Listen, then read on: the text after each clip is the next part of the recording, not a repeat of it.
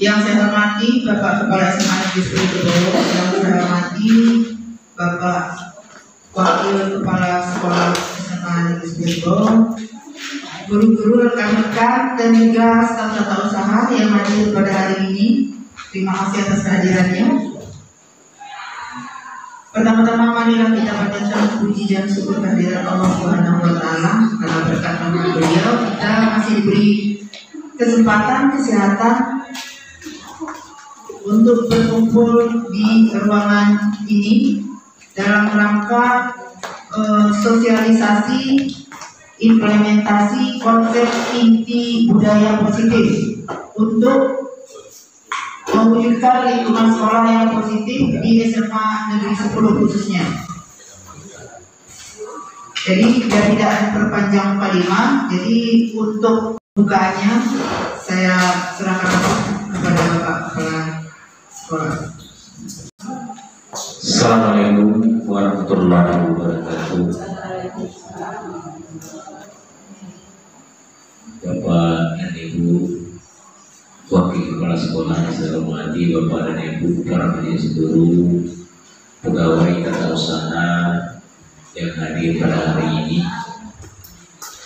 pertama datang sekali adalah mengucapkan rasa syukur kita dan hadiran Allah yang Maha Kuasa berkat dan karunia-Nya kita masih diberikan kesehatan dan dapat melaksanakan tugas kita masing-masing. Selanjutnya selawat dan salam buat dari kita Nabi besar Muhammad Sallallahu Alaihi Wasallam yang telah mengantarkan kita dari dunia delapan dunia jahiliyah ke dunia yang penuh dengan ilmu pengetahuan sebagaimana yang kita rasakan pada saat sekarang. Masalahnya yaitu masalah eh, menerapkan budaya positif dan menghindari perundungan atau lebih dikenal dengan bahasa apa yang bullying. Nah, saya anggap beliau lah yang mampu untuk memberikan motivasi ke kita semua. Mungkin sampai jam 11 lewat ini. Jam 11 lewat. Ya. Jadi itu Bapak dan Ibu Oh, mudah-mudahan kegiatan ini lancar sampai akhir dan mengucapkan Bismillahirrahmanirrahim. Saya nyatakan dibuka. Bismillahirrahmanirrahim. Assalamualaikum warahmatullahi wabarakatuh. Terima kasih kepada Bapak atas uh, pengarahan, pengarahan dan juga sekalian membuka acara kegiatan kita pada hari ini. Untuk acara selanjutnya tapi kita selanjutnya kita serahkan kepada Pak Yati biar mempersingkat waktu kepada Bu Kartun.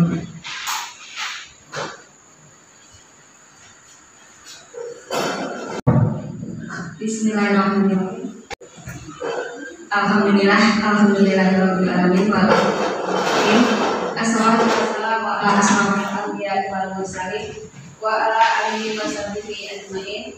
Rabbi shrah li sadri wa yassir li amri wa hlul 'uqdatam min lisani yafqahu qawli. Yang terhormat Bapak Kepala SMA Negeri yang terhormat Bapak Ibu Wakil Kepala Sekolah, serta Bapak Ibu sekalian, rekan-rekan guru, serta adik DPL yang hari ini bisa berkesempatan hadir di sini. Assalamualaikum warahmatullahi wabarakatuh. Alhamdulillah puji syukur kita panjatkan kehadirat Allah Subhanahu wa taala karena di pagi hari yang cerah ini kita masih diberikan kesehatan sehingga bisa hadir di web media ini dalam kegiatan kita yaitu sosialisasi implementasi konsep inti budaya positif untuk mewujudkan lingkungan sekolah yang positif di SMA Negeri 10 Kebun. Semoga yang kita laksanakan ini dapat menjadi salah satu amal ibadah karena sesungguhnya belajar itu adalah ibadah yang tidak pernah berhenti. Amin. Salam dan salawat lupa kita sampaikan kepada junjungan kita Nabi besar Muhammad Sallallahu Alaihi Wasallam dengan ucapan Allahumma sholli ala Sayyidina Muhammad wa ala ali Sayyidina Muhammad. Semoga dengan senantiasa bersalawat kita termasuk umatnya yang telah di yaumil akhir mendapat syafaat dari beliau. Baik Bapak dan Ibu tidak memperpanjang panggilan dengan waktu kita hari Jumat ini kita uh, nanti Bapak-Bapak mau sholat Jumat jadi kita segerakan saja kegiatan kita. Seperti yang Bapak Ibu lihat di depan ya kegiatan kita adalah implementasi uh, konsep inti budaya positif untuk mewujudkan lingkungan sekolah yang positif. Jadi ada kata budaya positif. Uh, Sebelum kita sampai ke materi, ya sampai ke budaya positif itu apa? Jadi di sini ada beberapa sub materi yang perlu saya sampaikan kepada bapak dan ibu sekalian, karena materi-materi ini sangat penting untuk kita mewujudkan uh, bagaimana disiplin positif untuk mewujudkan lingkungan sekolah yang positif. Tadi, jadi ada materi terkait dengan budaya positif, kemudian uh, teori motivasi, hukuman dan penghargaan serta retribusi, keyakinan kelas, kebutuhan dasar manusia, kemudian restitusi atau posisi kontrol, dan bagaimana menerapkan disiplin dengan menggunakan segitiga restitusi. Sebelumnya, Bapak dan Ibu, ya, ini ada pertanyaan yang mungkin menjadi bahan renungan untuk kita semua. Bapak Ibu setujukah dengan pertanyaan atau pernyataan berikut ini? Yang pertama, hukuman dapat mendisiplinkan anak. Yang kedua, pemberian hukuman dengan hal positif seperti membaca atau membersihkan lapangan adalah dapat meningkatkan disiplin anak. Dan yang ketiga, memberi penghargaan dapat meningkatkan motivasi anak. Silakan Bapak Ibu yang ingin berpartisipasi jawabannya. Terima kasih kesempatan yang diberikan kepada saya. Uh, secara secara umum saya setuju uh, apalagi untuk nomor 2 dan 3 jadi ketika kita memberi hukuman uh, kepada anak-anak didik kita ya hukuman yang kita pilih adalah hukuman yang positif. Ya, seperti contoh di sana ada membaca dan yang sering kita lakukan di sekolah adalah membersihkan uh, halaman sekolah atau lingkungan sekolah kita sehingga yang kita harapkan dapat meningkatkan disiplin mereka. Yang kemudian ketiga memberikan penghargaan dapat meningkatkan motivasi belajar Ya penghargaan dapat kita berikan berupa penghargaan secara verbal, kemudian penghargaan e, pemberian hadiah. Mungkin yang sering kita lakukan di kelas adalah secara verbal, secara pujian dan e, ketika kita menyentuh anak itu pun penghargaan bagi mereka, motivasi bagi mereka. Itu saja. Terima kasih. Assalamualaikum warahmatullahi wabarakatuh. Mungkin Bapak Ibu yang lain ada yang mau berpendapat? Kalau Bu Irma tadi intinya setuju dengan ketiga pendapat tersebut, hukuman itu dapat mendisiplinkan anak. Pemberian hukuman positif itu juga dapat memberikan uh, meningkatkan disiplin dan memberikan penghargaan itu dapat memotivasi anak. Ada yang punya pendapat lain? Bu Irma silakan. Terima kasih atas kesempatan yang diberikan. Saya mau menanggapi yang nomor satu. Hukuman dapat mendisiplinkan, mendisiplinkan anak, itu saya tidak setuju. Karena saya sering lihat ada anak yang berlari di lapangan. Minggu depan mereka berlari lagi. Minggu depannya lagi berlari lagi. Berarti bukan berarti diberi hukuman minggu ini, minggu depan mereka pasti akan siap dengan kegiatan pembelajaran mungkin semua peralatan atau hal-hal yang berhubungan dengan mata pelajaran yang bersangkutan. Jadi bisa ditarik kesimpulan hukuman tidak dapat mendisiplinkan anak. Itu saja saya rasa. Terima kasih. Baik, ada dua pendapat yang berbeda. Satu pendapat menyatakan hukuman dapat mendisiplinkan anak. Yang kedua, hukuman tidak dapat mendisiplinkan anak. Untuk menjawab pertanyaan ini, kita akan melakukan kegiatan game ya. Uh, saya minta dua orang bersedia ke depan untuk mempraktekkan apa uh, game yang ada di depan. Oh ya, ya kita minta kesediaan Meli dan Ariska untuk memperagakan uh, kegiatan kita. Jadi ada dua orang A dan D, ya Meli dan Ariska. Nah, ya Uh, sekarang uh, saya minta tolong salah satu dari Mary atau Ariska hadapnya ke ibu-ibu dan bapak ganteng. Ya, jadi minta tolong Mary atau Ariska, Mary uh, nanti Mary menjadi orang yang menggenggam sesuatu yang sangat berharga di tangannya. Jadi Meli silakan ambil kertas, secari kertas, kemudian tuliskan nama benda atau nama sesuatu yang sangat berharga Sesuatu itu sangat berharga dalam hidup Meli sehingga sesuatu itu harus digenggam erat di tangan Meli. Ya. Kemudian Ariska, Ariska ini berperan sebagai si B. Si B tugasnya adalah dia akan berusaha membuat Meli membuka kepalan tangannya. Ya, Ariska boleh merayu, boleh membujuk, atau boleh melakukan apa pun sampai uh, Meli bisa membuka tangannya. Dan Meli tadi karena sesuai dengan arahan, Meli memegang sesuatu yang sangat berharga. Sehingga Meli gimana caranya e, barang yang ada di kepala Meli itu tidak terbuka. Ya, jadi e, Meli akan mempertahankan, sedangkan Ariska juga akan berusaha sekuat mungkin untuk membuka. Ya, silakan Meli tulis sesuatu yang berharga dalam hidupnya.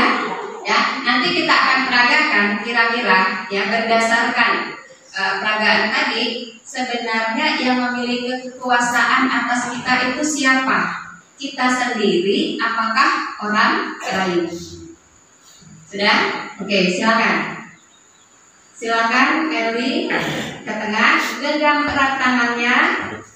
Digenggam erat, tapi tunjukkan ke Bapak dan Ibu yang di depan, tapi digenggam erat. Silakan. Nah, Ariska silakan melakukan sesuatu untuk merayu boleh memang itu di situnya boleh mengancam, boleh menghardik, boleh menyuap, ya apa saja supaya uh, Meli mau membuka kepala tangannya. Yuk silakan.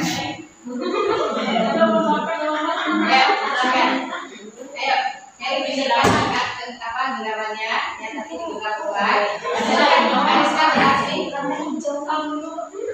ya tapi dibuka kuat. Silakan, Ariska berhasil.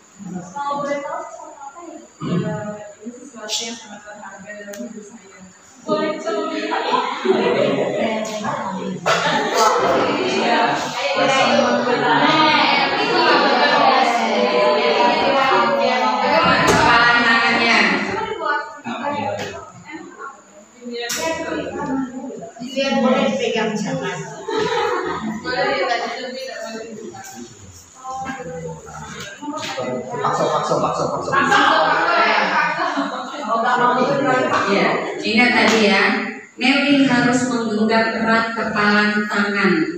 Ya, nah.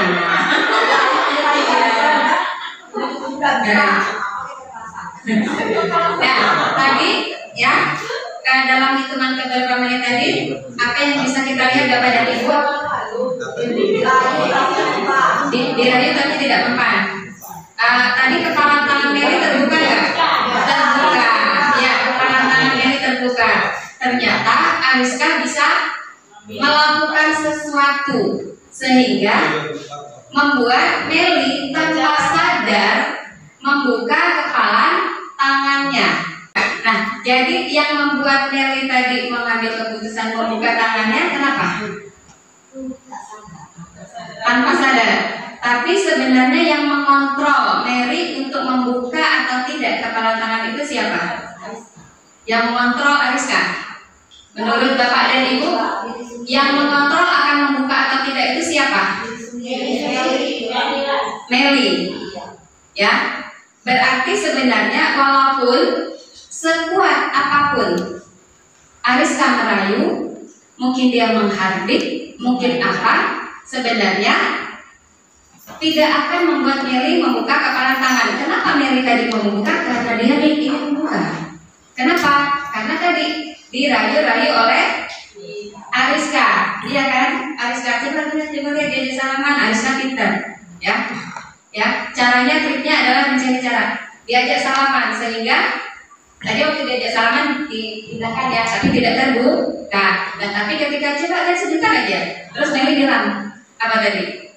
Boleh dilihat tapi nggak boleh dibuka. Nah, ketika Meli membuka berarti dia memutuskan dia mengizinkan Ariska untuk melihat apa yang ada di dalamnya tapi dia tetap tidak mengizinkan Ariska untuk melihat apa tulisan yang ada di dalam kertas tersebut. Jadi dari game ini apa yang bisa kita simpulkan? Yang mengontrol diri sendiri dan kita sendiri. Kita sendiri. Iya, yang bisa mengontrol diri kita adalah kita sendiri. Ya, adalah kita sendiri. Yang membuat kita melakukan sesuatu atau tidak melakukan sesuatu itu adalah kita sendiri. Baik, terima kasih Deli dan Ariska. Silakan duduk kembali. Sebenarnya yang bisa mengontrol diri kita adalah kita sendiri. Orang lain itu sebenarnya tidak bisa mengontrol. Coba perhatikan, murid yang tidak mau melakukan sesuatu, walaupun mau kita hukum, mau kita rayu, mau kita bujuk, dia tidak akan mau melakukan sesuatu. Intinya yang mengontrol diri kita adalah kita sendiri. Ketika akhirnya kita mau mendengarkan orang lain, itu artinya kita yang membuka diri kita. Ya termasuk siswa yang uh, selalu terlambat. Walaupun mau dihukum, mau disuruh nyapu sebanyak apa pun, dia tetap akan terlambat kalau dia tidak mau merubah dirinya sendiri. Iya. Iya, tidak efektif. Yang jadi yang efektifnya seperti apa nanti Pak kita lihat. Jadi seperti apa efektifnya. Nah dari di dari di game tadi kita bisa melihat beberapa miskonsepsi. Ilusi guru bisa mengontrol murid. Jadi itu uh, ilusi. Ilusi itu artinya tidak selalu benar. Ya, ilusi itu kan hanya bayangan. Iya, anak-anak kita kita bisa mengontrol murid. Ternyata kita tidak bisa mengontrol murid. Coba kita perhatikan kepada murid-murid kita. Apakah kita bisa mengontrol murid kita sepenuhnya? Enggak. Ya, yang kedua, ilusi bahwa semua penguatan positif atau rujukan efektif dan bermanfaat. Tadi buktinya, ya, uh, Ariska merayu Meli supaya membuka kertasnya, tapi Meli hanya membuka kepala tangannya, tidak membuka apa isi kertasnya. Jadi mau dibujuk, mau dirayu seperti apa pun, kalau e, tidak ada motivasi dari dalam diri, maka tidak akan terjadi sesuatu perilaku. Yang ketiga, ilusi bahwa kritik dan membuat orang merasa bersalah dapat menguatkan karakter. Nah ini mungkin berlaku untuk orang-orang yang suka sekali mengkritik tapi tidak memberi solusi. Kan harusnya ketika terjadi sesuatu jangan dikritik, ya bukan dikritik tapi diberikan solusi. Kalau orang yang kritik itu dia hanya menyalahkan, ya hanya uh, yang menjudge, ya tapi tidak memberi jalan keluar. Jadi harusnya bukan kritikan, ya tapi solusi. Yang keempat, ilusi bahwa orang dewasa memiliki hak untuk memaksa. Ya, jadi sebagai orang dewasa, sebagai orang tua, sebagai guru, sebenarnya kita tidak punya hak untuk memaksa. Kenapa? Karena anak kita lahir dengan kekuatan kodratnya masing-masing. Anak lahir itu sudah membawa bakat minatnya masing-masing dan kita sebagai guru hanya membantu mengarahkan supaya mereka bisa tumbuh sesuai dengan bakat dan minatnya tersebut. Nah, Bapak dan Ibu. Jadi, terkait dengan ya, hal tadi, maka kita harus menggunakan pendekatan kontrol ya. Yang menyatakan bahwa di pendekatan kontrol ini menyatakan bahwa kebutuhan kita itu berbeda-beda. Termasuk kebutuhan murid-murid kita. Murid yang satu dengan yang lain dia beda-beda kebutuhannya. Nanti di uh, ada pembahasan juga kebutuhan manusia itu apa saja. Ya, yang kedua, setiap orang memiliki gambaran yang berbeda. Iya nggak Bapak Ibu? Iya. Ya, walaupun sama-sama guru IPS, misalnya saya dan Bu, Muna dalam mengajar punya kebutuhan yang berbeda. Ya, walaupun kita si anak kembar sekalipun dia punya kebutuhan yang berbeda karena setiap orang punya karakteristik. Kemudian kita berusaha memahami pandangan orang lain tentang dunia karena setiap orang punya dunianya masing-masing. Setiap orang punya keinginan masing-masing. Kemudian semua perilaku memiliki tujuan. Anak melakukan sesuatu walaupun sesuatu itu salah atau melanggar pasti dia punya tujuan.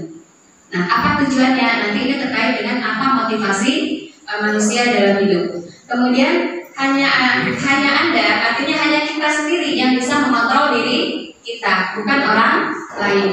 Dan eh, kolaborasi dan konsensus menciptakan pilihan-pilihan baru. Artinya untuk me- menciptakan disiplin positif itu tidak bisa dilakukan sendiri, tapi harus dengan kolaborasi. Kita harus kerjasama.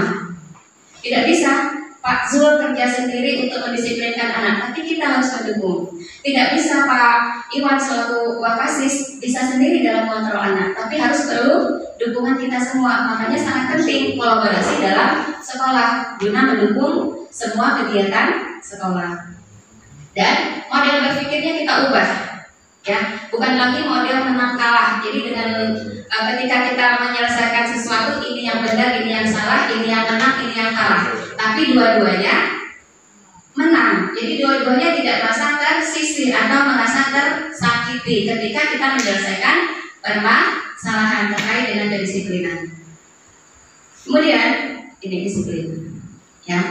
Jadi disiplin berasal dari kata Latin disiplina, ya, yang artinya membuat orang menggali potensinya menuju satu tujuan apa yang dihargai. Nah, tapi disiplin ini di masyarakat kita sering disebut dengan ini.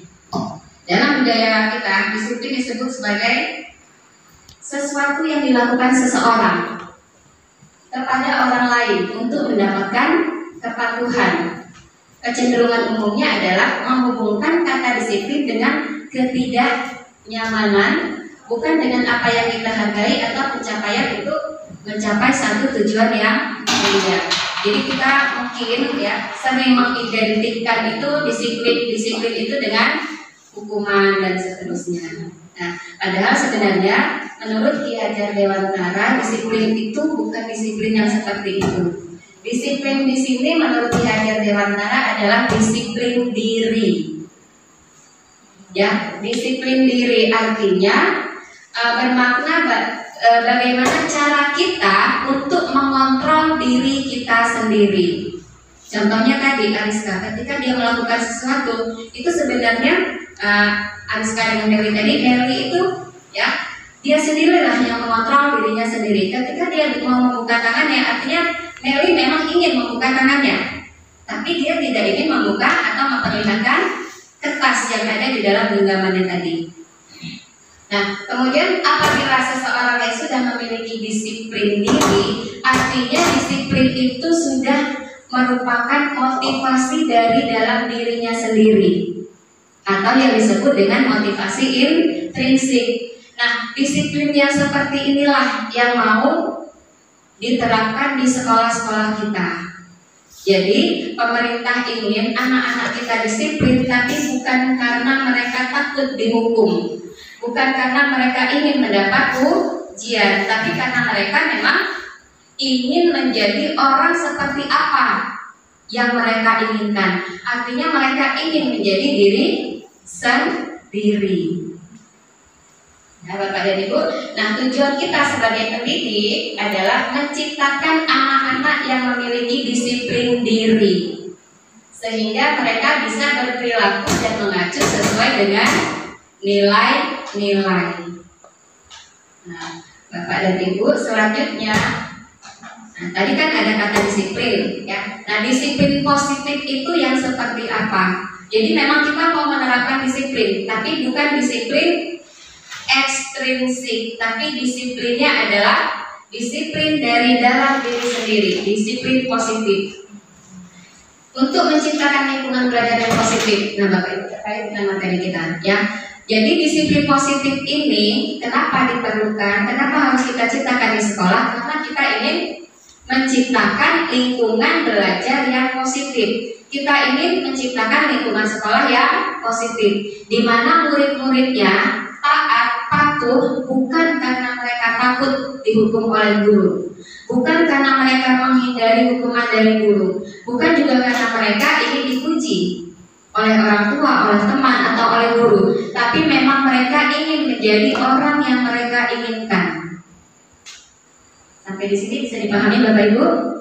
Ya, jadi tujuan mulia dari penerapan disiplin positif adalah membentuk murid-murid yang berkarakter, disiplin, santun, jujur, peduli, tanggung jawab, dan menerapkan pembelajar sepanjang hayat sesuai dengan standar kompetensi lulusan. Jadi itu tujuan dari penerapan disiplin positif.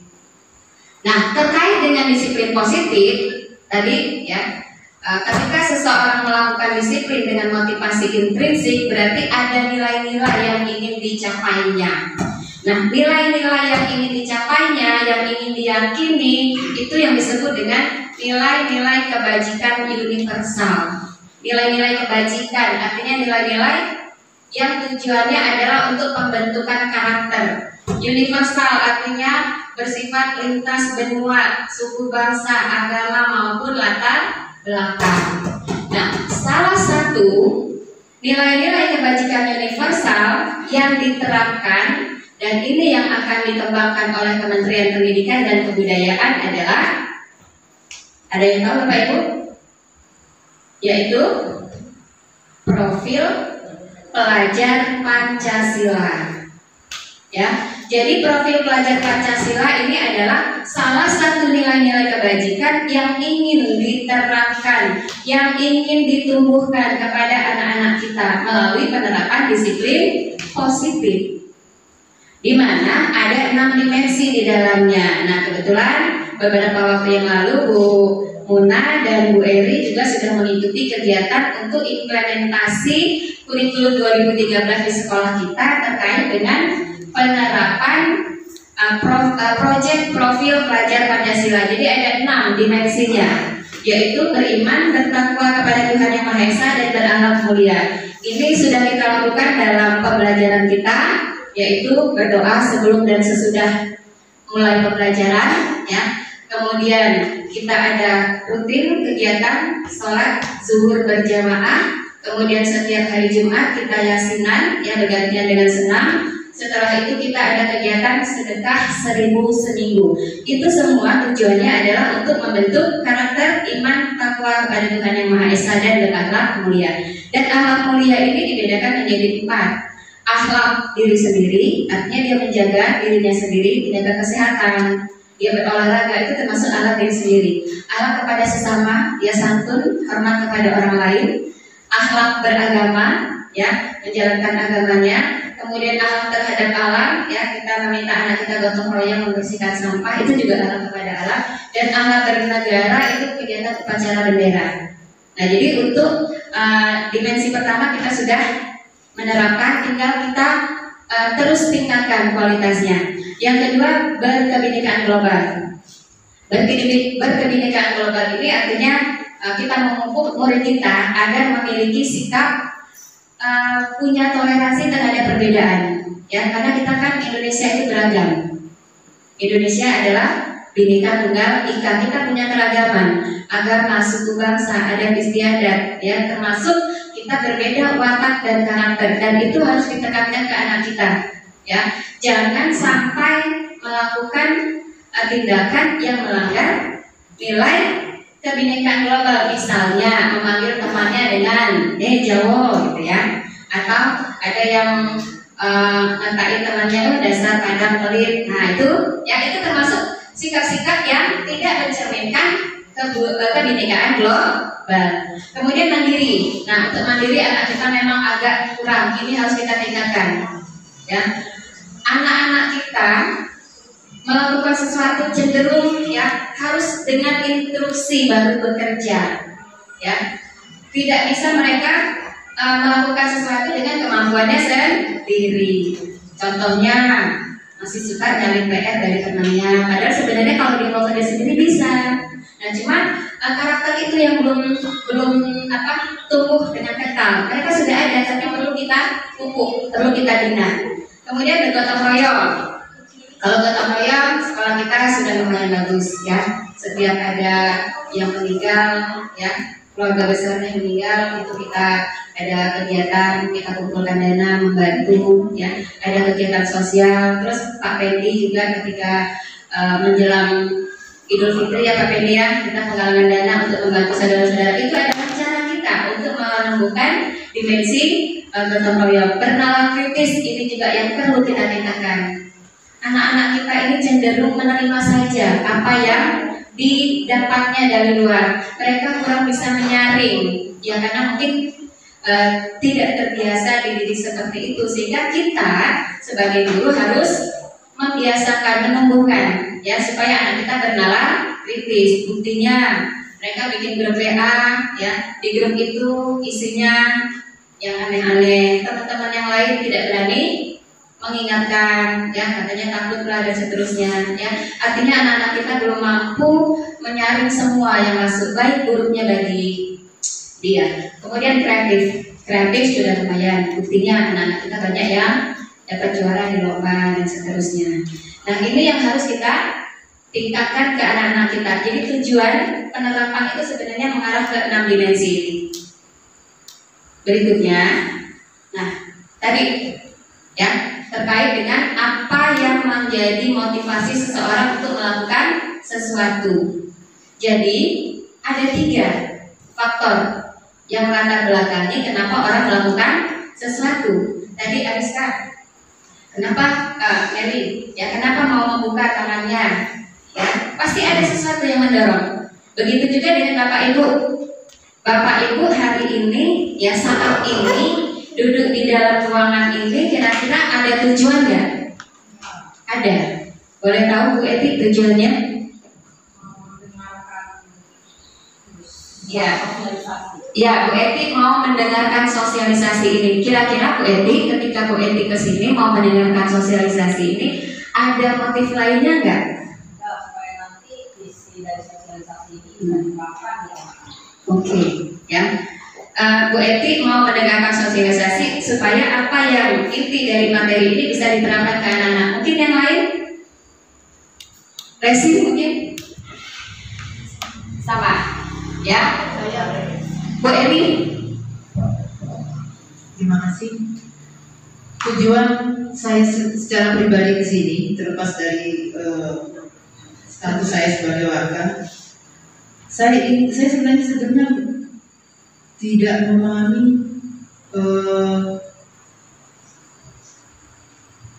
apa sih budaya positif, budaya positif yang yang lingkungan positif. Dalam artian eh, kesadaran itu harus lahir dari diri sendiri. Nah, itu yang tidak saya pahami sebenarnya. Makanya melalui paparan ini, insya Allah bisa lebih paham sedikit, bisa tambah banyak. Yang belum paham, insya Allah paham dan juga bisa me- mengaplikasikan atau mem- membuat merealisasikannya untuk kehidupan mereka sehari-hari. Termasuk saya sendiri. Terima kasih. Jadi eh, kalau mungkin karena kita sebagai guru kita sudah bisa me- mengontrol ya perbuatan kita, perilaku kita.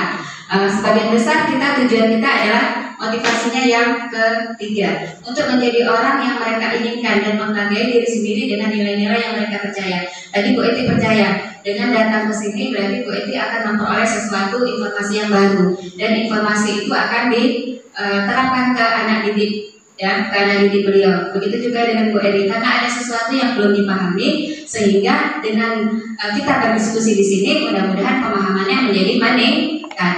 Nah, namun Bapak dan Ibu pada dasarnya ada tiga motivasi seseorang melakukan sesuatu termasuk anak kita ya.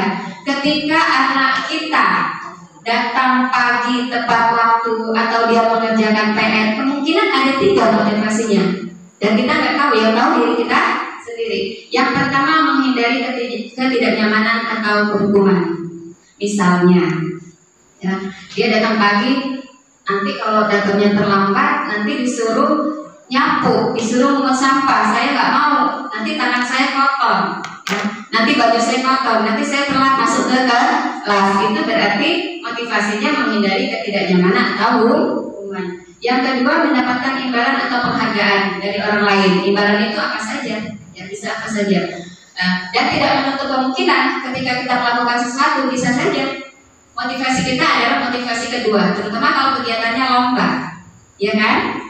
Masa iya kalau kita ikut lomba kita nggak mau dapat penghargaan, kita mau nggak mau menang, ya pasti ada, ya. Jadi yang kedua untuk mendapatkan imbalan atau penghargaan. Ketika kita ikut lomba pasti kita ingin uh, imbalannya adalah kita dapat juara, kita dapat hadiah, ya kita dapat peringkat supaya apa? Mungkin supaya sekolah kita namanya bisa dikenal dan seterusnya. Itu termasuk motivasi yang kedua. Dan motivasi yang ketiga adalah untuk menjadi orang yang mereka inginkan. Jadi mereka yang melakukan sesuatu ya karena saya memang ingin seperti itu.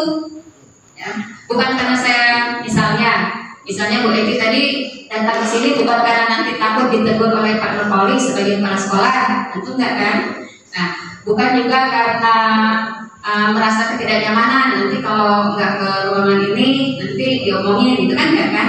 Nah, berarti uh, tujuannya adalah untuk menjadi diri sendiri. Nah, motivasi yang pertama, yang kedua ini yang disebut dengan motivasi eksternal. Motivasi yang datangnya dari luar diri. Karena motivasi eksternal itu bisa berubah, bisa dipengaruhi. Tapi kalau motivasinya yang ketiga, inilah yang disebut dengan motivasi internal atau motivasi dari dalam diri sendiri. Artinya kita melakukan sesuatu karena memang kita ingin menjadi seseorang yang kita inginkan dengan nilai-nilai yang kita yakini. Tentunya nilai-nilai yang perlu kita tanamkan ke anak-anak kita tadi nilai-nilai yang enam tadi yang ada di dalam profil belajar Pancasila. Nah, kemudian ini tadi Bu Eri, disiplin positif ya. Nah, tujuannya adalah menanamkan motivasi yang ketiga tadi. Jadi kita melakukan disiplin positif untuk menanamkan kepada anak kita supaya mereka melakukan sesuatu bukan karena takut dihukum, bukan karena ingin dapat ujian, tapi karena mereka ingin menjadi orang yang mereka inginkan. Ya. Jadi ketika murid kita memiliki motivasi intrinsik, ini dampaknya akan panjang. Artinya, ke depan mau seperti apa pun kondisinya, dia akan tetap berperilaku disiplin. Karena apa?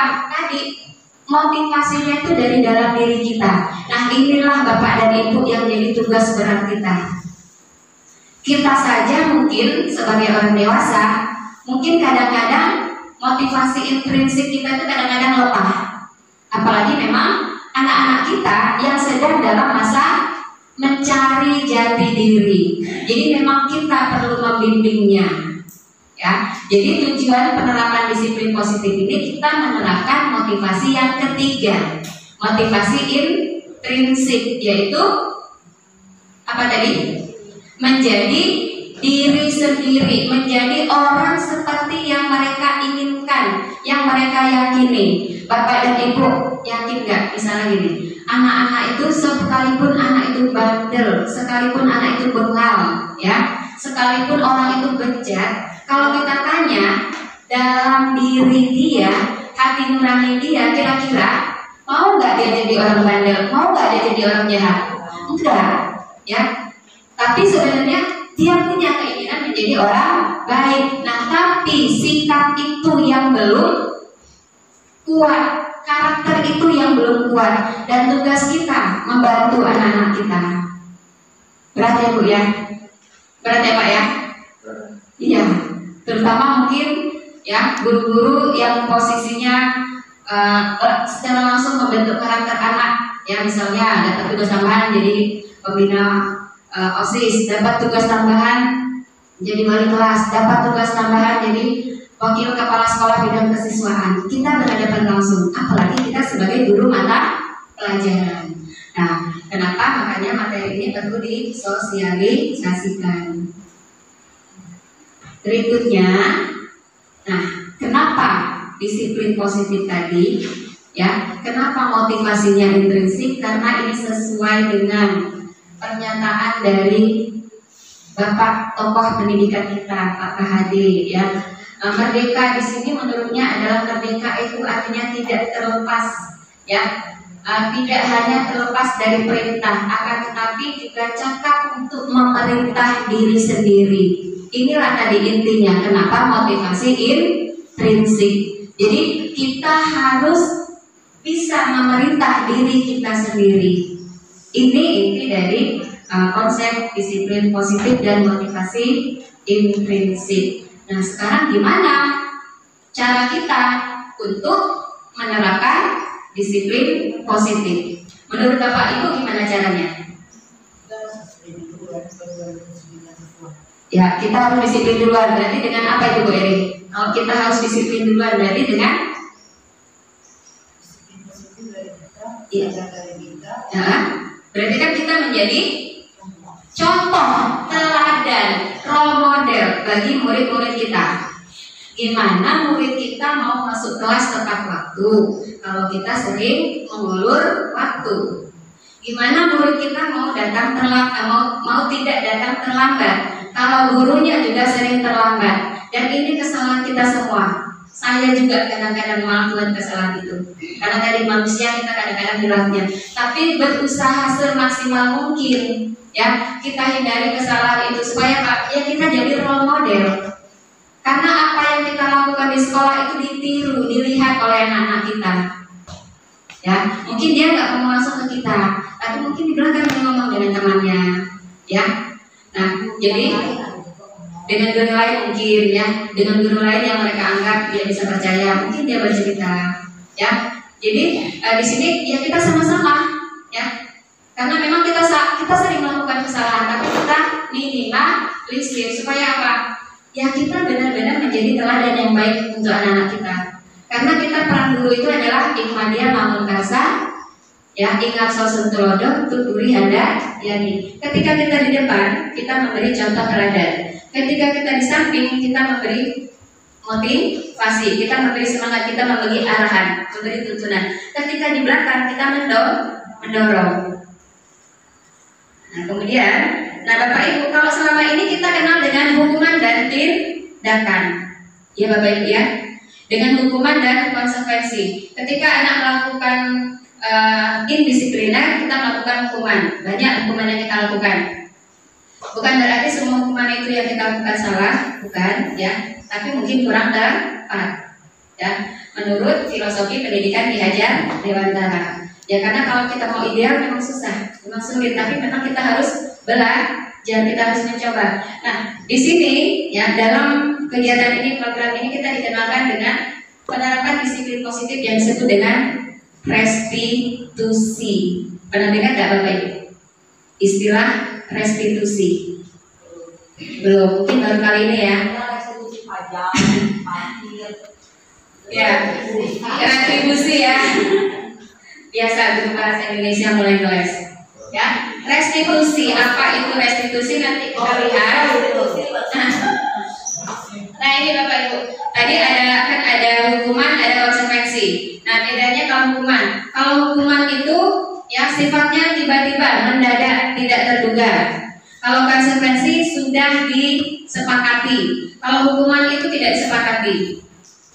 Ya, ya nggak bapak ibu. Ya, misalnya gini, bapak ibu apakah dari rumah hari ini sudah berniat hari ini saya mau menghukum anak? Nanti ada anak ini nanti, nanti saya hukum seperti ini, ya enggak? Pasti tidak ya. Hukuman itu biasanya tiba-tiba spontan ketika ketika apa bapak ibu? Ketika anak melanggar, ya makanya hukuman itu sifatnya tiba-tiba, spontan, tidak direncanakan. Dan hukuman biasanya datangnya dari guru, guru yang menentukan. Tidak, sekarang kamu keliling lapangan. Sekarang kamu misalnya tulis saya tidak terlambat sebanyak 100 kali. Nah itu kan guru, ya. Uh, kemudian hukuman itu merupakan disiplin, ya penerapan disiplin, tapi disiplin yang negatif. Kenapa? Karena tadi dengan dihukum tidak berarti ke depan anak tidak akan mengulangi. Ya kalau dia tetap yang mau melakukan dia nggak mau berubah tetap aja dia akan mengulangi. Sedangkan konsekuensi ini kalau konsekuensi itu disepakati antara guru dan siswa dan di awal sudah disepakati dari awal. Ya contohnya ketika kita pertama ketika kita masuk ya ketika pertama kita uh, di awal pembelajaran di awal semester kita bikin kesepakatan nah kesepakatannya apa misalnya toleransi terlambat masuk kelas kita 10 menit misalnya. Nanti ada konsekuensi. Konsekuensinya apa? Sudah kita setujui ya. Misalnya kalau saya terlambat harus apa ya. Terus konsekuensi itu misalnya gini. Anak-anak kita misalnya ada yang menyobek atau merusak barang temannya, konsekuensinya apa Bapak Ibu? Harus ganti. Nah itu bukan hukuman, itu namanya konsekuensi. Disepakati. Ketika ya, ketika misalnya anak kita menumpahkan air di kelas, konsekuensinya apa Bapak Ibu? Dia bersihkan, dia pel lantainya, itu konsekuensi. Ya, tapi kalau hukuman biasanya menyakiti anak, terus dampaknya jangka panjang. Kalau konsekuensi dampaknya jangka pendek. Mungkin dia malu malu sebentar aja, ya karena oh dia disuruh ngepel, tapi kan memang karena dia melakukan kesalahan. Tapi kalau hukuman dia akan ingat sepanjang masa. Apalagi kalau hukumannya itu bersifat apa ya? e, bersifat menjatuhkan mentalnya, maka dia akan ingat sepanjang hidup dia mungkin. Contohnya, Bapak Ibu pernah nggak sampai sekarang ingat dulu waktu SD pernah dihukum apa oleh guru dan teringat sampai sekarang? Oh, Bu Eti dihukum. Bagus. Pak Fendi pernah nggak Pak Fendi? Pernah. Teringat sampai sekarang? Nah, itu dia. Itu dia nah. Wah itu buktinya, benar. Memang secara psikologi seperti itu. Jadi hukuman itu da- dampaknya jangka panjang sampai kapan pun kita ingat. Ya, saya juga dulu waktu SMA saya pernah belajar biologi. Guru biologi saya itu apa? Yang menurut saya nggak adil, ya.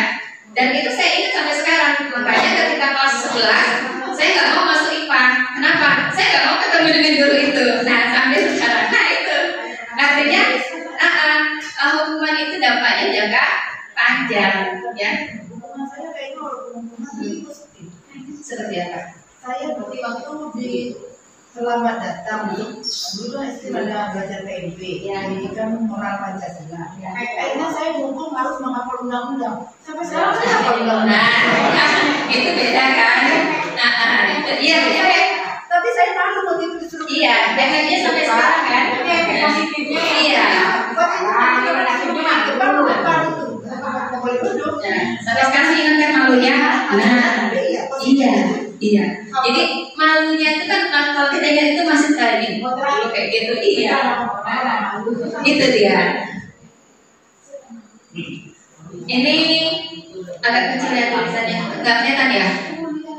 Blur. Ya.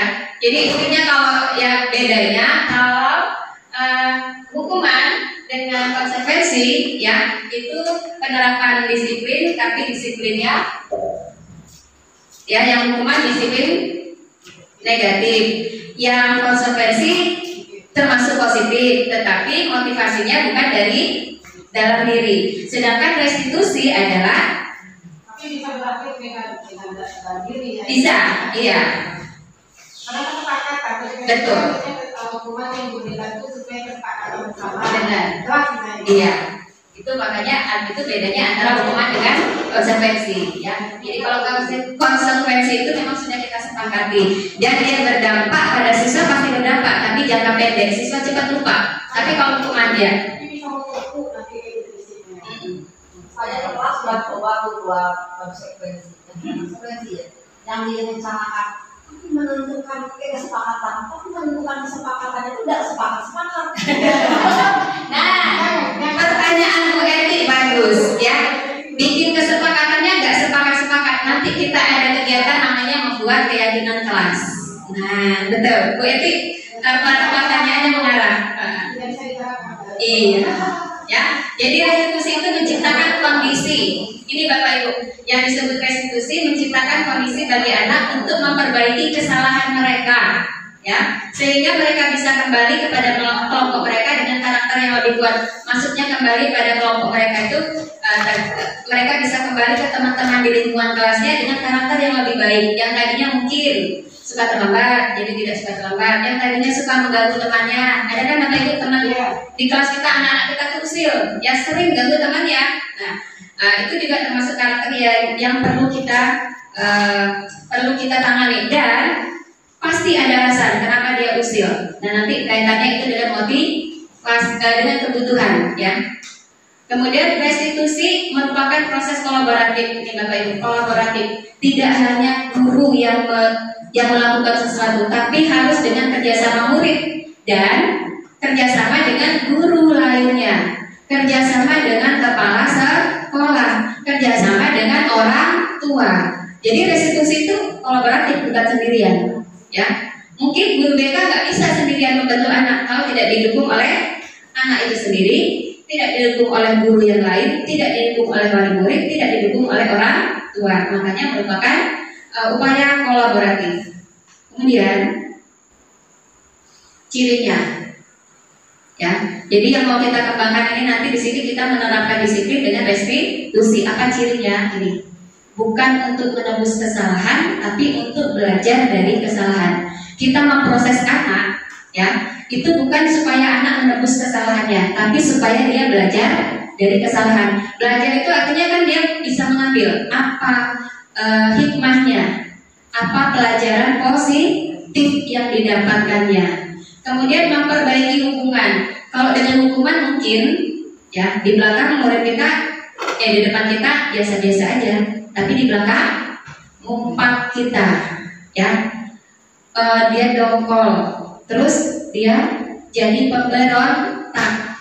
Itu kalau kita sering menghukum anak dengan hukuman yang negatif. Kemudian uh, restitusi itu tawaran, bukan paksaan. Artinya bukan karena kita paksa, jadi kita ajak, kita tawar. Kan. Kemudian restitusi menuntut untuk melihat ke dalam diri tadi tujuannya motivasi intrinsik. Kemudian restitusi mencari kebutuhan dasar. Nah tadi Bu Edi ya dan lain-lain. Misalnya ada teman anak kita yang uh, selalu mengganggu temannya di kelas. Yakin ya Bapak Ibu pasti dia ada tujuan. Tujuannya mungkin karena dia ingin memenuhi kebutuhannya atau betul cari perhatian. Nah, cari perhatian itu adalah kebutuhan yang akan kesenangan, kebutuhan akan diakui atau kasih sayang. Mungkin ternyata oh iyalah orang tua dia itu bapak ibunya kerja, sibuk terus, pulangnya malam, jarang ngobrol sama dia sehingga dia cari perhatian dengan temannya.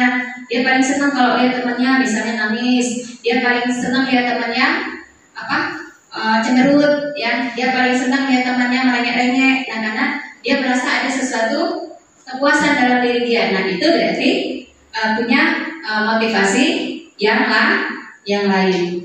Kemudian restitusi adalah cara yang paling baik untuk menentukan mendidik disiplin positif. Restitusi fokus pada karakternya bukan tindakannya. Tapi karakter yang mau kita bentuk karakter yang mau kita uh, tanamkan. Dan restitusi itu fokusnya pada solusi. Tujuannya mencari penyelesaian masalah. Ketika anak kita bermasalah kita tujuannya bukan menyalahkan tapi membantu dia. Iya membantu dia supaya dia sadar apa kesalahannya dan membantu dia untuk mencari solusi dari masalah dia sendiri. Jadi bukan guru yang memberi solusi, tapi anak sendiri dan kita hanya mengarahkan. Kemudian restitusi mengembalikan murid yang berbuat salah pada kelompoknya tadi setelah dia menyadari kesalahannya. Manfaatnya tadi sudah pasti manfaatnya intinya adalah untuk membentuk disiplin positif. Nih, tujuannya menjadi orang yang menghargai nilai-nilai kebajikan yang mereka percayai, ya. Memupuk motivasi intrinsik. Jadi dari tadi kita fokusnya motivasi intrinsik, disiplin positif, motivasi dari dalam diri. Karena itulah intinya. Nanti ada videonya ya Bapak Ibu, jadi nanti kita bisa membedakan. Ya, manfaatnya. Nah, Restitusi ini bermanfaat tidak hanya bagi orang yang melakukan kesalahan, tapi bagi anak yang lain juga. Dan bagi orang yang melakukan kesalahan, anak-anak kita, ya, uh, mereka ini intinya supaya mereka menjadi orang yang bertanggung jawab atas perilaku yang mereka pilih namun mereka dapat belajar dari pengalaman untuk membuat pilihan yang lebih baik di waktu yang akan datang. Jadi mereka sadar kesalahannya, mereka belajar membuat keputusan, mereka belajar membuat pilihan dan tanggung jawab dengan pilihannya. Nah, Bu Eti, tadi kan tadi Bu Eti bilang saya mau sudah mencoba mau bikin kesepakatan tapi susah bikin keyakinan kelas. Nah, Bapak Ibu, kita nanti kita lihat yang mana yang keyakinan kelas ya. Dalam menerapkan disiplin positif melalui motivasi intrinsik, guru dan murid dapat atau perlu membuat sebuah keyakinan kelas, yaitu pernyataan-pernyataan universal dalam bentuk positif tentang nilai-nilai kebajikan yang dipercayai ingin dituju oleh seluruh anggota kelas dan dapat diterapkan di lingkungannya. Jadi disebut keyakinan kelas kalau ada kriterianya. Satu, bentuknya kalimat positif bukan kalimat negatif bahasa Indonesia silakan dijelaskan kalimat positif itu apa contohnya kami menjadikan kelas ini lebih uh, supaya kalau punya alat-alat tetap terjaga jangan ada yang rusak kan positif berarti kalimatnya harus menggunakan kata-kata yang perlu dihindari dalam uh, kalimat positif itu kata apa, Oma? Kata? Tidak. Terus apa lagi? Jangan. Terus? Bukan dilarang. Nah, jadi kita menggunakan kalimat positif. Contohnya, ya. Nah, harus itu masih masih ada, masih belum? sebaiknya Nah, sebaiknya atau ayo letakkan barang yang telah dipakai di tempatnya. Jangan dilarang meletakkan barang sembarangan. Itu masih belum kalimat iya. Jadi kalimatnya menggunakan kalimat yang positif. Kemudian kalimat yang kita nyatakan itu ingin dituju oleh semua anggota kelas. Ya, kemudian dapat diterapkan. Itu tadi, jangan pula kalimatnya terlalu apa sesuatu yang kita tuju terlalu berat sehingga tidak bisa diterapkan. Jadi yang namanya keyakinan kelas harus bisa kita terapkan di lingkungan kita. Nah, dan yang paling penting ini malah dirumuskan melalui kegiatan curang pendapat. Jadi kita sama-sama merumuskan dia apa keyakinan kelas kita? Kalau kita wali kelas berarti apa yang keyakinan kita kelas kita tentang uh, kelas yang mau kita tuju? Kalau kita guru mapel berarti apa keyakinan kelas kita terkait uh, mata pelajaran kita? Jadi yang bisa melakukan keyakinan kelas gak hanya wali kelas tapi juga guru mata pelajaran termasuk guru D, BK semua bisa ya. Jadi nanti kita kaitkan. Nanti kita lihat apa contohnya keyakinan kelas mana contoh peraturan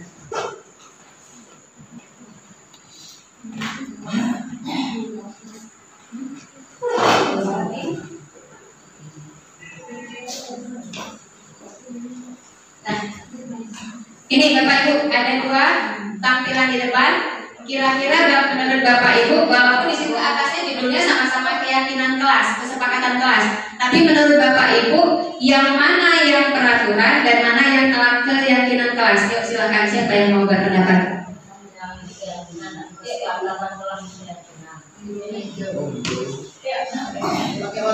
Yang warna ungu itu keyakinan.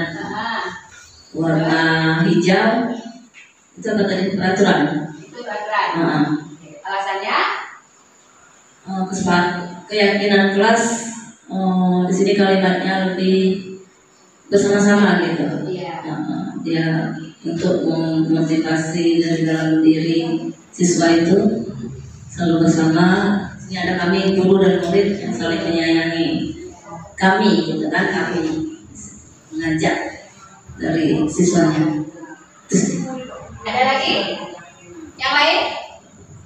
Ada lagi yang punya pendapat? Kalau kata Bu Irma, yang warna ungu itu yang keyakinan kelas, yang warna hijau itu yang peraturan. Ada yang punya pendapat lain? Kalau Bu Eti? Yang hijau yang keyakinan alasannya. Yuk. apa bedanya keyakinan sama kata tadi Keyakinan tadi ini kan ini kan kesepakatan. Iya. Yang diminta dia apa? keyakinan kelas dengan peraturan. Jadi nah ini di atasnya judulnya sama-sama kesepakatan. Oh. Tapi sebenarnya di dalamnya itu ada satu yang peraturan, satu yang keyakinan Jadi kelas. kesepakatan kelas itu ada isinya ada keyakinan dan ada peraturan. Benar nggak? harus lebih ke keyakinan Kalau kesepakatan kelas itu harus lebih di ke Keyakinan. Dia lebih karena motivasi dari dalam diri yang dan dibilang harus positif itu. Iya dan disepakati bersama-sama kalau alasannya kami semuanya kami itu. Ya Hmm. guru dan murid yang saling menyayangi ya kami murid yang semangat belajar. Ya. Jadi menurut Ibu Eti yang ungu apa yang hijau? Yang keyakinan kelas? yang hijau. Yang hijau. Ya, ada dua pendapat. Satu lagi, Bu Mary. Sampai. Oh, ya. Sepertinya kalau menurut Bu Mary ada berarti ada tiga, ya. Kalau Bu Irma yang ungu yang keyakinan kelas, kalau Bu Eti yang hijau yang keyakinan kelas, kalau Bu Mary kedua-duanya keyakinan kelas. Nah, sekarang eh, coba tadi kita kita ingat-ingat kembali tadi konsepnya keyakinan kelas. Ya. Keyakinan kelas yaitu pernyataan-pernyataan universal yang dalam bentuk positif tentang nilai kebajikan yang dipercayai ingin dipuji oleh seluruh kelas dan dapat diterapkan di lingkungan kelas serta dirumuskan melalui kegiatan curah pendapat. Berarti yang ungu, yang ungu ini yang keyakinan kelas nih. Kami guru dan murid saling menyayangi. Kami murid yang bersemangat belajar. Kami murid yang peduli dengan teman-teman. Iya, ini iya, ini dilakukan setelah apa? Setelah melalui curah pendapat antara guru dengan murid. Dan ini bisa di bisa diwujudkan dalam kelas itu sendiri. Kalau ini ya datang tepat waktu mengucapkan salam. Nah, ini bisa jadi dibuat oleh guru, bisa jadi dibuat oleh sekolah, bukan karena kesepakatan. Menjaga kebersihan sekolah, kemudian berdoa sebelum dan sesudah kegiatan. Kecuali kalau ini, kalimatnya gini, kami guru dan murid ya selalu berdoa sebelum dan sesudah pelajaran itu jadi sudah keyakinan kelas karena sudah melalui proses curah pendapat. Kalau keyakinan itu gurunya pun juga semua Enggak mesti juga kalau kalau berdoa guru juga harus berdoa Ya, iya. kalau sudah tepat waktu guru juga tepat Iya, ya itu namanya kesepakatan. Makanya perlu dibuat kesepakatan keyakinan kan kelas. Ya nanti kalau sudah disepakati uh, uh, kami ya kami semua anggota kelas masuk kelas tepat waktu. Ya. Nah kalau bunyinya kami guru dan kelas tepat waktu ya gurunya juga harus konsisten. Berarti, Ya. berarti kalau keyakinan itu ada, jadi orang subjeknya ada. Gitu. Iya. Ya kan ada Kami dua-duanya. Iya. Kami murid, ya. Ya. Semua yang ada di dalam itu kan, jadi subjeknya sudah tahu lah ya. Nah, untuk penulisan kalimat ada subjeknya lebih bagusnya ya pakai subjeknya. Tapi ah, dulu iya betul. Nah, misalnya kalau di kelas saya itu tulisannya bukan kami guru dan murid, tapi semua anggota kelas. Nah, itu iya, iya gitu. kalau juga Iya, ketika guru masuk ke kelas itu kan kelas. Iya. Jadi kalau tulisannya semua anggota kelas, ketika guru masuk di pelajaran itu jadi anggota kelas juga kan? Iya, masuk. Nah ini Bu Edi, contoh lain kalau misalnya eh, kalimatnya nanti tinggal dikasih misalnya kalau yang ganti keyakinan kelas kami guru dan siswa eh, bertanggung jawab terhadap peralatan yang ada di dalam kelas. Nah tinggal ditambah aja. Ini contoh-contohnya. Nah kalau yang peraturan ini dilarang, dilarang ya. Iya. Ya, gunakan masker itu juga peraturan. Iya. Jangan berlari di kelas atau koridor, itu juga peraturan. Tapi kalau jadi keyakinan gimana? Semua murid berjalan tertib di koridor. Nah, itu keyakinan. Nah, ini tadi ya terkait dengan kebutuhan, ya. Kebutuhan murid, ya kebutuhan kita sendiri bukan murid, kita juga. Sebenarnya ada lima kebutuhan dasar. Yang pertama survival, ya, survival, ya. Survival itu artinya kebutuhan kita untuk bertahan hidup. Apa contohnya? Eh, makan, ya murid keluar, ya misalnya anak kita keluar datang terlambat, kenapa?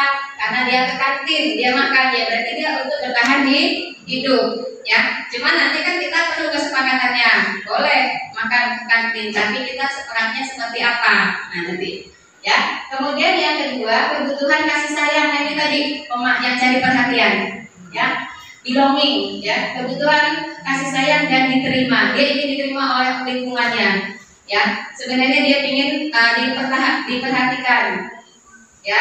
Itu adalah kebutuhan yang kedua belonging atau kebutuhan kasih sayang dan rasa ingin diterima kemudian yang ketiga kebutuhan kebebasan fun contohnya anak yang nggak mau diatur-atur misalnya ketika disuruh uh, melakukan sesuatu ya. Misalnya disuruh apa ya yang terkait dengan mengangkat kebebasan dia misalnya disuruh uh, duduk tertib ya duduk di bangkunya jangan uh, jangan jalan ke sana ke sini gitu ya. Nah dia bilang ya saya nggak bisa duduk seperti itu saya bosan gitu saya nggak bisa seperti itu. Saya tuh orangnya nggak kayak gitu. Nah itu berarti dia kebebasan. Dia butuh kebebasan. Yang kebutuhan dia adalah kebebasan. Kemudian fun itu kebutuhannya senang-senang. Contohnya anak-anak yang ketika belajar senang bercanda. Ketika di kelas main-main. Nah ini termasuk di kelas saya kemarin Uh, makanya salah satu kesepakatan kelasnya adalah tidak bermain bola di kelas. Kenapa? Iya, karena anak-anak yang cowok itu beberapa main bola di kelas, ya sehingga selain mengganggu temannya juga merusak barang yang ada di kelas. Nah, mereka bermain itu sebenarnya mereka butuh uh, me, ingin memenuhi kebutuhan mereka akan akan kesenangan atau fun. Kemudian uh, kebutuhan uh, penguasaan, power. Ada anak kita yang selalu ngatur-ngatur ya. Selalu dia ingin jadi ketua dia ingin jadi pemimpin ya. Uh, terus apa lagi ya? Ya intinya dia ingin orang teman-temannya tunduk sama dia. Berarti sebenarnya dia punya kebutuhan yaitu kebutuhan akan kekuasaan. Nah anak-anak yang seperti itu bisa kita arahkan. Mungkin dia nanti kita arahkan jadi ketua kelas atau kita arahkan dia untuk aktif di OSIS, kita arahkan dia untuk aktif di kegiatan pramuka dan seterusnya. Jadi intinya ada lima kebutuhan yang mendorong anak kita melakukan sesuatu dan kita harus memahami kebutuhan-kebutuhan anak tersebut. Setelah kita memahami kebutuhannya, nah sekarang ini dia, bagaimana kita tadi kan sudah dibilang ya sudah di apa di awal tadi orang lain tidak bisa mengontrol diri kita. Yang bisa mengontrol diri kita hanyalah diri kita sendiri. Nah, untuk itu ketika kita melakukan e, menerapkan disiplin positif ke anak diri kita, kita ada lima, ya ada lima posisi yang bisa kita lakukan. Ada posisi penghukum, pembuat rasa bersalah, kemudian posisi teman, posisi pemantau, posisi manajer. Nah, yang paling ideal adalah posisi manajer. Nah, sekarang akan saya tunjukkan videonya, kita amati sama-sama mana yang merupakan posisi penghukum, posisi pemantau, posisi teman, kemudian posisi pembuat rasa bersalah, dan posisi manajer.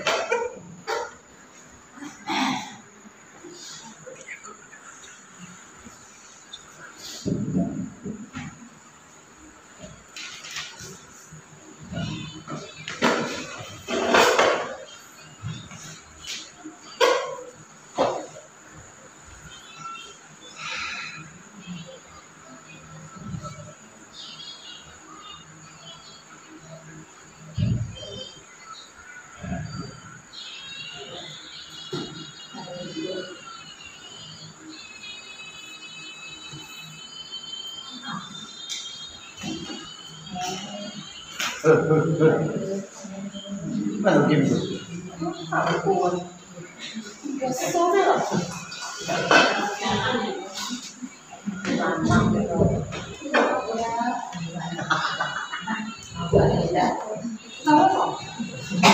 嘿嘿嘿，我不放心。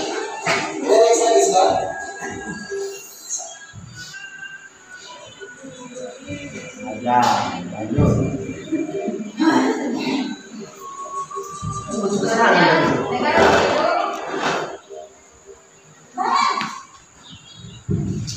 Sini kamu.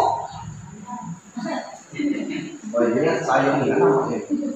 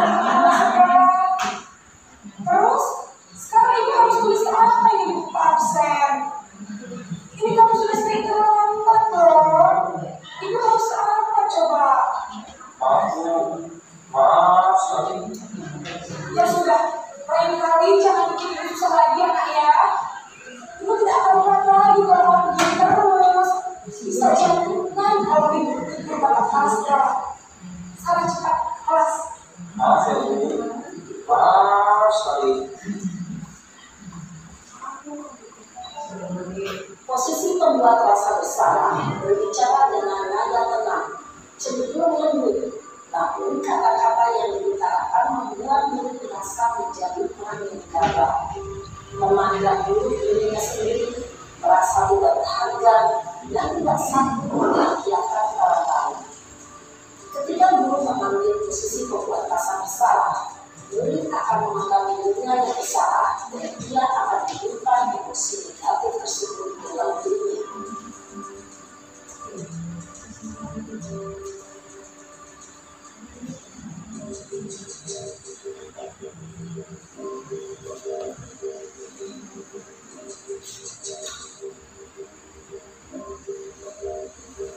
Naren, Gigi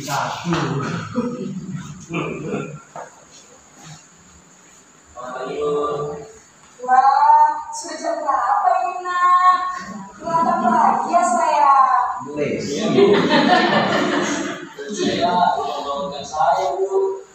Eh kamu jangan menyalahkan ibu kamu. Kamu bukannya anak kamarnya paling kencang. Kok terlambat sih? Dia mau ya. Jadi biar perusahaan kencang tetap bu. Ya sudah sana. Nanti lain kali larinya lebih kencang lagi ya. Biar gak terlambat lagi. Bikin seneng ibu. Demi ibu. Bisa kan? Bisa bu. Sudah sana masuk kelas. Ibu beresin urusan absen kamu. Kamu ini ada-ada saja. Dalam posisi teman, guru berbicara dengan nada suara ramah, akal, cenderung bersendal gurau untuk menjaga suasana tetap santai. Murid akan merasa senang, aman, dan akan dengan. Identitas yang tercipta adalah identitas sukses atau berhasil. Namun, perlu diingat, karena ini masih dorongan eksternal, maka ada faktor ketergantungan dari murid kepada orang tertentu. Di sini, guru paksanya, sehingga mulai waktu boleh bisa berlaku baik, namun hanya kepada orang-orang tertentu saja. CCTV. Iya. Ya.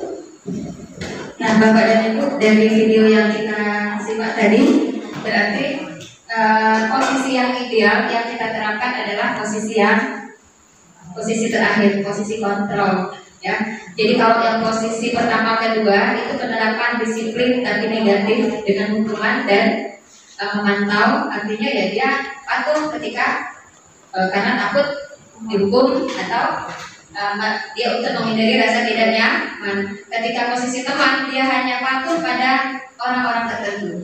Ya Orang yang merasa uh, guru yang dia rasa bisa mengerti dia tapi dia tidak akan patuh dengan guru yang lain. Kemudian posisi uh, pemantau tadi patuh karena ingin uh, tidak apa menghindari rasa ketidaknyamanan. Tapi yang ideal adalah posisi yang kelima posisi common manager. Artinya guru menangani siswa bermasalah itu bukan uh, karena ya muridnya takut dihukum bukan karena muridnya ingin uh, merasa nyaman tapi karena memang tumbuh dari dalam diri dia sendiri dan solusi itu datang dari si murid sendiri. Guru hanya memfasilitasi. Tentu ya penerapan posisi ini sangat berat ya dan untuk itu kita yang perlu berlatih. Ini nanti bisa bapak ibu baca nanti slide-nya saya kasih ya. Nah, kemudian ya jadi gimana cara kita menerapkan posisi kontrol tadi yaitu dengan menggunakan segitiga restitusi. Segitiga restitusi ini adalah proses dialog. Ya dialog antara guru dan murid. Jadi yang seperti yang tadi ditampilkan di video terakhir dialog antara bu uh, bu siapa tadi? Ibu guru dan si Naren. Jadi dia dialog. Permasalahannya Naren itu apa, kenapa dia terlambat? Dan apa yang bisa Naren lakukan untuk melakukan atau untuk memperbaiki kesalahan. Jadi bukan guru yang menjas kemudian uh, guru memberi hukuman dan seterusnya Nah, posisi uh, segitiga restitusi ini dilakukan dengan tiga tahapan menstabilkan identitas, ya. Menstabilkan identitas itu bisa kita lakukan misalnya guru mengatakan semua orang itu pasti melakukan kesalahan, ya. Kita kan memang manusia selalu melakukan kesalahan, jadi distabilkan dulu identitasnya, jangan dibikin down dulu. Jadi, tapi nanti setelah dia stabil identitasnya, dia sadar kalau dia salah, kemudian kita Langkah yang kedua, validasi tindakan yang salah. Jadi siswa sendiri yang mencari, yang menentukan kira-kira tindakan kamu tadi yang salah yang mana.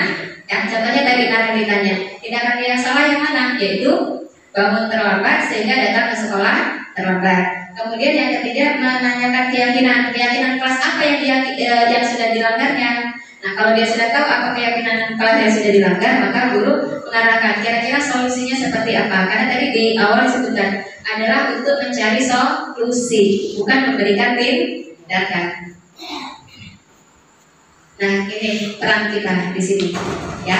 Peran kita sebagai pendidik adalah ini, mendidik, ya, pendidik sebagai teladan, fasilitator, motivator, dan mitra bagi murid. Ya, menemukan nilai-nilai kebajikan ini pasal. Yang mana tadi Bapak Ibu nilai-nilai kebajikan ini pasalnya? Sesuai dengan kurikulum merdeka, berarti nilai-nilai universal yang kita yakini yang ingin kita buku adalah profil pelajar Pancasila. Kemudian dengan menjalankan nilai-nilai guru, guru itu punya nilai dan peran, ya. Kemudian kita punya visi, makanya sekolah itu punya visi. Visi kita untuk mewujudkan apa? Mewujudkan manusia pembelajar sepanjang hayat, untuk mewujudkan pelajar Pancasila. Jadi inilah uh, yang harus kita lakukan dalam menumbuhkan disiplin positif supaya apa lingkungan sekolah yang positif itu bisa kita wujudkan sekolah supaya sekolah itu menjadi tempat yang aman, nyaman dan bahagia bagi murid kita. Rasa itu dengan sekolah itulah tugas berat kita membuat sekolah kita sekolah yang aman, nyaman dan bahagia. Tentu ada tambahan dari Bu Eri? Udah. Ya, Bapak dan Ibu mengingat ini sudah jam 11 lewat, ya sesuai kesepakatan kita tadi kita berakhir sebelum jam setengah 12 mungkin itu yang bisa saya sampaikan terkait dengan budaya positif di sekolah. Jadi tadi terkait dengan disiplin positif nilai-nilai kebajikan universal keyakinan kelas kebutuhan peserta didik kemudian restitusi hukuman uh, hukuman konsekuensi dan restitusi serta segitiga restitusi Um, pasti dari penjelasan saya, paparan saya tadi banyak yang kurang. Nanti karena waktu kita terbatas, nanti kita diskusikannya boleh di grup WA ya Bapak Ibu ya. Nanti kalau ada yang uh, perlu kita diskusikan, kita diskusikan kembali karena memang waktu kita yang terbatas. Untuk itu, uh, kalau ada kekurangannya, ya sebagai manusia saya tidak luput dari salah, saya mohon maaf Pada Allah saya mohon ampun. Astagfirullahaladzim, astagfirullahaladzim, astagfirullahaladzim. Saya bila, saya akhiri dengan bilang taufik wal hidayah. Assalamualaikum warahmatullahi wabarakatuh. Saya kembalikan kepada moderator. Terima kasih kepada Bu Varianti yang sudah memaparkan hal yang sangat bermanfaat untuk kita semua. Semoga saja dengan pemaparan ini kita bisa membangun disiplin positif kita masing-masing. Karena segala sesuatu itu berawal dari diri sendiri, tidak bisa dari orang lain. Mengingat waktu, jadi dengan berakhirnya paparan dari Bu Varianti tentang implementasi konsep inti budaya positif akan kita tutup. Jadi saya sebagai moderator, jika ada hal yang kurang berkenan, mohon dimaafkan. Marilah kita bersama-sama mengucapkan alhamdulillah agar apa yang kita eh, dengar dan lakukan hari ini bermanfaat untuk kita semua. Akhir, ka- akhir kata saya ucapkan assalamualaikum warahmatullahi wabarakatuh.